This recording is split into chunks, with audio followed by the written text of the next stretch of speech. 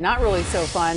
Beachgoers quite had quite a square after getting a little too close to some sea lions at the La Jolla Cove. The video now, though, gone viral nationwide.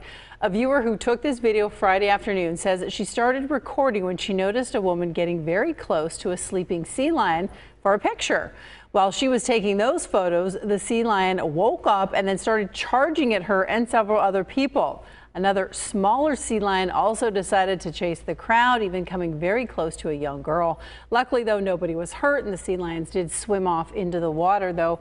The uh, video has since had more than 7 million views and million likes on TikTok. It's incredible video. Let a sleeping sea lion lie. That's right. Leave it alone.